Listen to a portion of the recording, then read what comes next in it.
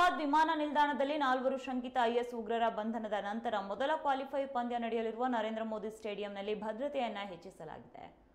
Kolkata night Riders ಮತ್ತು Sunrisers Hyderabad ನಡುವಿನ ಕಾಳಗ ನೋಡಲು ಸಾವಿರಾರು ಅಭಿಮಾನಿಗಳನ್ನು ಆಕರ್ಷಿಸುವ ನಿರೀಕ್ಷೆ ಇದ್ದು, ಸುರಕ್ಷತೆಯನ್ನು ಖಚಿತಪಡಿಸಿಕೊಳ್ಳಲು ಭದ್ರತಾ ಕ್ರಮಗಳನ್ನು ಪೊಲೀಸರು ಹೆಚ್ಚಿಸಿದ್ದಾರೆ. ಮೂರು ಸಾವಿರಕ್ಕೂ ಹೆಚ್ಚು ಸಿಬ್ಬಂದಿಯನ್ನು ನಿಯೋಜಿಸಲಾಗಿದೆ. ಮೇ ಇಪ್ಪತ್ತರಂದು ಅಹಮದಾಬಾದ್ ವಿಮಾನ ನಿಲ್ದಾಣದಲ್ಲಿ ನಾಲ್ವರು ಶಂಕಿತ ಐಸಿಸ್ ಭಯೋತ್ಪಾದಕರನ್ನ ಬಂಧಿಸಿರುವುದರಿಂದ ಭದ್ರತೆಯನ್ನ ಹೆಚ್ಚಿಸಲಾಗಿದೆ.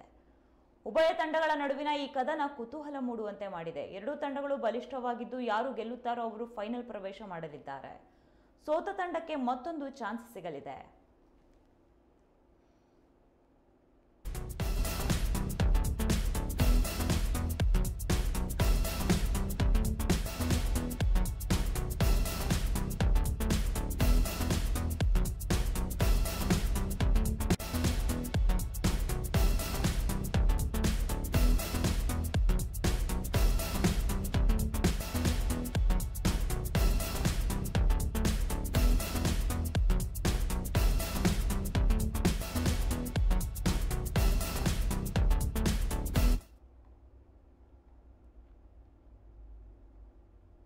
ಅಹಮದಾಬಾದ್ ವಿಮಾನ ನಿಲ್ದಾಣದಲ್ಲಿ ನಾಲ್ವರು ಶಂಕಿತ ಐಎಸ್ ಉಗ್ರರ ಬಂಧನದ ನಂತರ ಐಪಿಎಲ್ನ ಮೊದಲ ಕ್ವಾಲಿಫೈಯರ್ ಪಂದ್ಯ ನಡೆಯಲಿರುವ ನರೇಂದ್ರ ಮೋದಿ ಸ್ಟೇಡಿಯಂನಲ್ಲಿ ಭದ್ರತೆಯನ್ನು ಹೆಚ್ಚಿಸಲಾಗಿದೆ.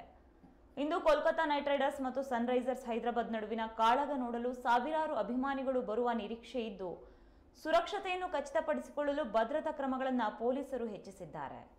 ಮೂರು ಸಾವಿರಕ್ಕೂ ಹೆಚ್ಚು ಸಿಬ್ಬಂದಿಯನ್ನ ಈ ವೇಳೆ ನಿಯೋಜಿಸಲಾಗಿದೆ. ಇನ್ನು ಮೇ ಇಪ್ಪತ್ತರಂದು ಅಹಮ್- ಅಹಮದಾಬಾದ್ ವಿಮಾನ ನಿಲ್ದಾಣದಲ್ಲಿ ನಾಲ್ವರು ಶಂಕಿತ ಐಸಿಸ್ ಭಯೋತ್ಪಾದಕರನ್ನ ಬಂಧಿಸಿರೋದ್ರಿಂದ ಸ್ಟೇಡಿಯಂ ಸುತ್ತಮುತ್ತ ಭದ್ರತೆಯನ್ನ ಹೆಚ್ಚಿಸಲಾಗಿದೆ. ಉಭಯ ತಂಡಗಳ ನಡುವಿನ ಈ ಕದನ ಈಗ ಕುತೂಹಲ ಮೂಡುವಂತೆ ಮಾಡಿದೆ. ಎರಡೂ ತಂಡಗಳು ಬಲಿಷ್ಠವಾಗಿದ್ದು, ಇಂದು ಯಾರು ಗೆಲ್ತಾರೆ ಅವರು ಫೈನಲ್ ಪ್ರವೇಶ ಮಾಡಲಿದ್ದಾರೆ. ಸೋತ ತಂಡಕ್ಕೆ ಮತ್ತೊಂದು ಚಾನ್ಸ್ ಇರಲಿದೆ.